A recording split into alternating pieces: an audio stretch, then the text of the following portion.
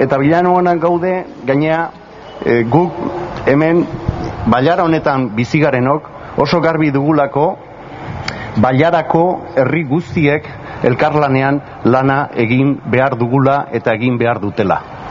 Idei hori gainea diputaziotik legealdi honetan bereziki oso e, nabarmenki edatu den e, ideia da, elkarlarena da.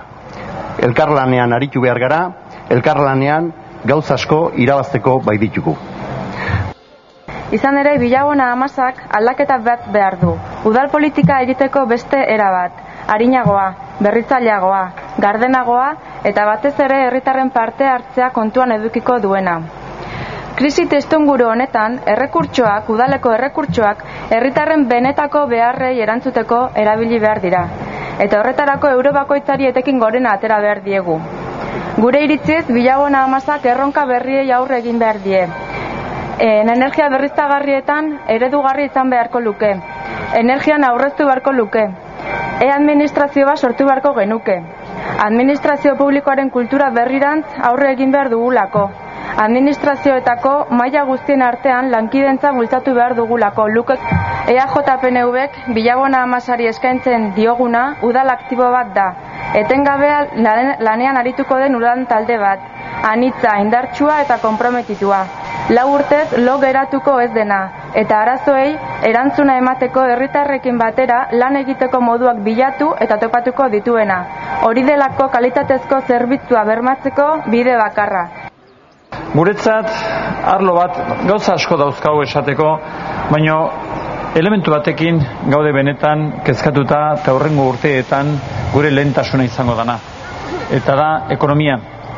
Garbi dago, ekonomiaren inguruan udaletxek ditugula ditugun eskuduntzak baino badaude lurzorua bilatzarena ikusi zuen nola daukaun apatxarreka eta horrengo legealdirako guk mutuko deun apatxarreka hori azitzea uneko berreita mar ondikoa izanik sortzen ari gara berrikuntzarako nagorek aipatu duen bezala ze garrantzi izango duen berrikuntzak berrikuntzarako eta enplegurako instituto berri bat eta hortarako Eh, eta hortarako Eusko Alderdi Jeltzaleak, ez beste inor, Eusko Alderdi Jeltzaleak Zapateroren aurrekontuak baldintzatuz lortu ditu 2 milioi euro tolosalderako instituto bat lortzeko.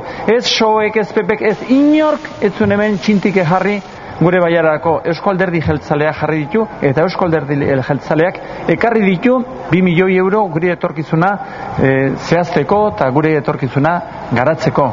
Alegia, urrengo urtetan proiektu asko ditugu, baina bat ipat, ekonomia, eta horren guzti horren atzean dagoena, eta horren atzean dago jendea, jendearen kezkak, jendearen nahiak guzti horren aurrea, lan egingo dugu, eta hori izango da gure berma ondina. Aurre espazio nagusi. Bata izango litzateke ezkara hartzalea, bestatik PPSOE frontea, eta erdibidean dagoen espazioa. Jendearen gehiengoarekin konexioa egiten duena benetan gure instituzioetan sinisten duena, gure etorkizunean sinisten duena. Gure herriak bere etorkizun erabakitzeko eskubidea duela defenditzen duen espazioa. Eta nik uste dut, momentu hontan guk Euskal Herri Jeltzale bezala daukagula espazio hori lideratzeko gaitasuna eta bokazioa. Eta jokuan dagoena, datorren maiatzaren ogoita bian, datorren igandean alegia, jokoan dagoena da hain zuzen ere hiru espazio horietan zein nagusituko den, zeinek hartuko den pisu importanteena. Guk egiten dugun apustuak ez doka zerikusirik siglekin. Ez da bat ere klientelista. Gure apustuak batez ere helburua du herritarra. Eta nun dauden helburu eta proiektu importanteenak. Eta herriz herri joan gara adostuz ba hortze den erronkak eta egin apustuak eta emaitzan erezako borobila izan da. Ez azuko herri txiki ez, ez da ere gure baiarez.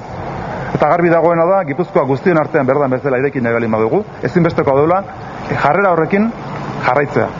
Urte importante datozkigu, espazioak berdan bezala definituko dira, eta espazio horien artean erdiko bide indartsu bat lideratzeko aukera eta bokazioa daukana Eusko Alderdi Jeltzalea da.